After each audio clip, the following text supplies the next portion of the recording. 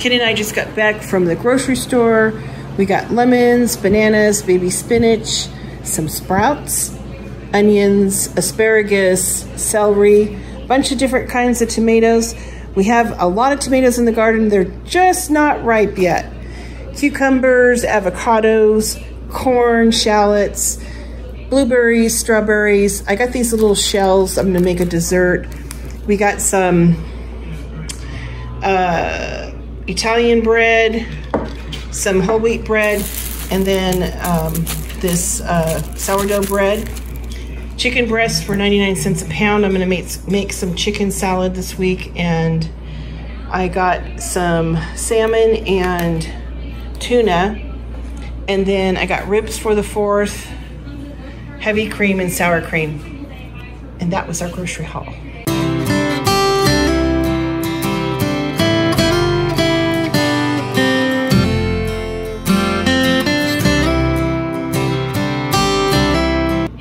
It's Shelby. Welcome back to my channel and this week's meal plan. On Sunday, we're having chicken shawarma. What I like to do is when chicken breasts, the boneless, skinless, are on sale, I buy a bunch of them and uh, cut them into cutlets, put them in freezer bags, and then add all different kinds of marinades. Uh, tequila lime chicken, Thai coconut chicken, chicken shawarma, and it makes it so convenient uh, to have that in the freezer marinating and getting all those flavors, you know, incorporated into the chicken. So I just pulled one of those from my freezer. I'm making homemade pita bread, hummus, tabbouleh, and tzatziki. And I have a video that shows how to do the marinade and it has all the recipe links for videos and whatnot for this entire dinner. So I'll put that in the description box. Tonight for dinner, we're having grilled chicken shawarma uh, hummus, tzatziki, homemade pitas, and tabbouleh. And I have a video that shows how I marinate the chicken. And then if you click on show more, it has all the recipes for tabbouleh, tzatziki, hummus, all of it. So I'll link that in the, the description box for you guys. We are growing a ton of tomatoes and they're almost turning red, but not quite.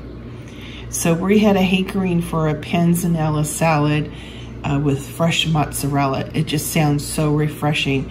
I did harvest the basil from my garden and it was so good. Tonight for dinner we're having a panzanella salad and I added some fresh mozzarella. I have a cook with me video that shows how to do this, make the dressing. Tonight we're having some fish for dinner and I'm using a little shortcut. I'll share that with you and asparagus. And I'm gonna make a little aioli sauce using some preserved lemons. I have a confession. I do use this Uncle Ben's uh, long grain and wild rice, like as a convenient item. And I doctor it up usually with some sliced mushrooms. A lot of times I'll use it as a stuffing, like for Cornish game hens or uh, chicken or something like that. Today I'm gonna use it as a side. I'm gonna cook up some fish and, but yeah, that's what I'm using today. That's my secret recipe. I'm gonna be harvesting some dill, parsley, and a little bit of green onion. I wanna make a compound butter that I can use when preparing fish dishes.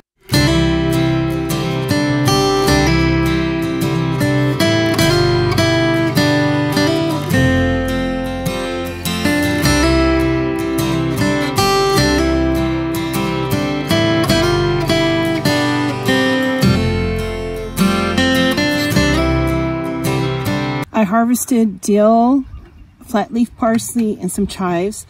I'm gonna get these washed and then take all the leaves off, get rid of the tough stems, and then chop it up into really fine minced herbs.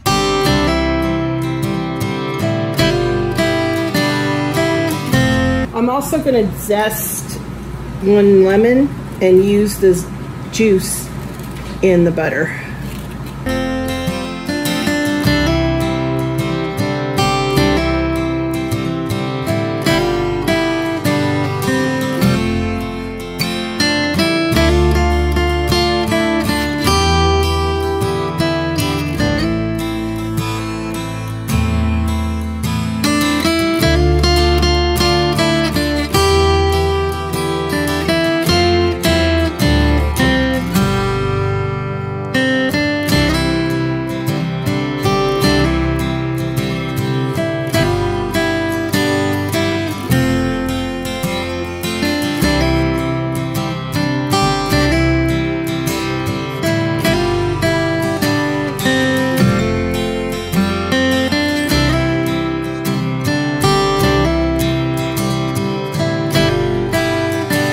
Okay, I started out with two pounds of softened butter.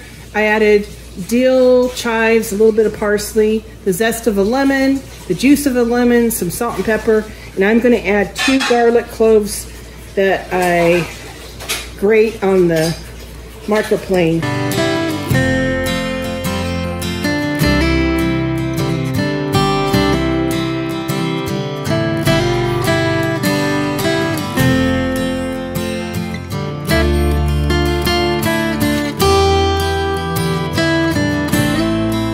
labeled the compound butter, just dill butter.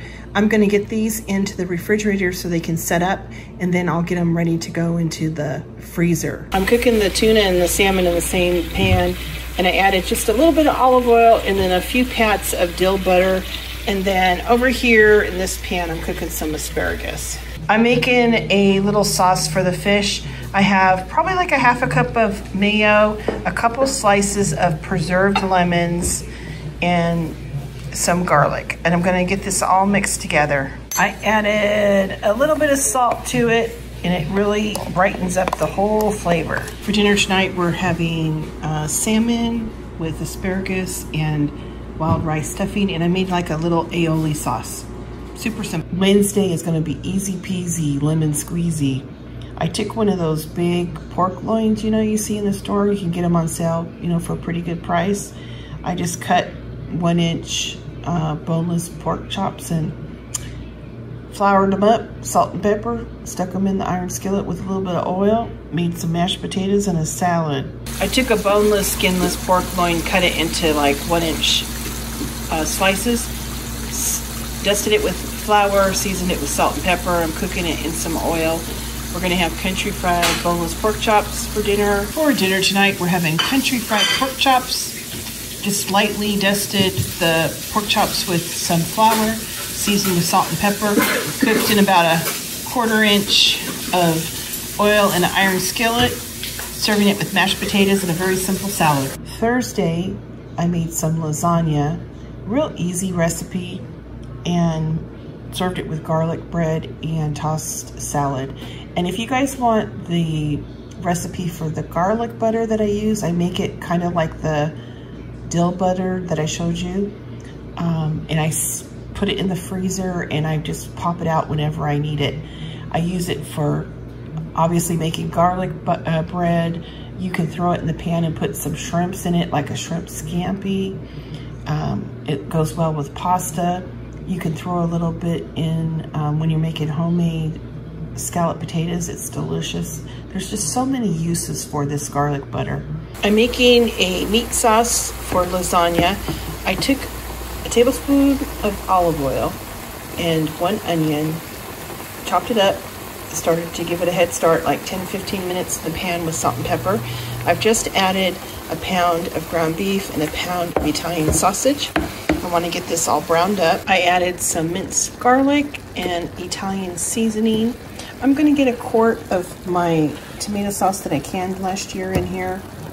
I'll put all of the um, measurements in the recipe in the description box below. Put a little bit of water in my container here, my jar, to get out the rest of the tomato sauce. Do you guys do that? I'm gonna let this simmer. In addition, I added six ounces of a tomato paste.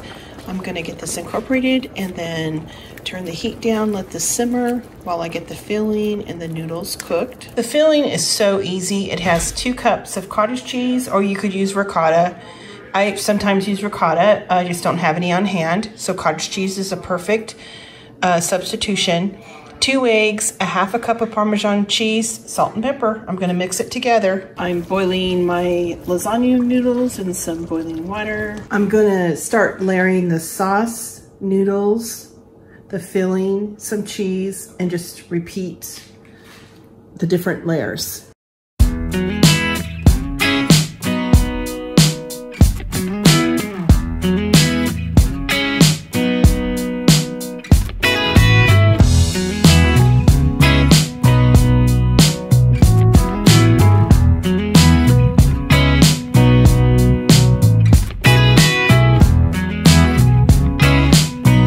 In the oven and baked it at 350 until it got nice and bubbly all over.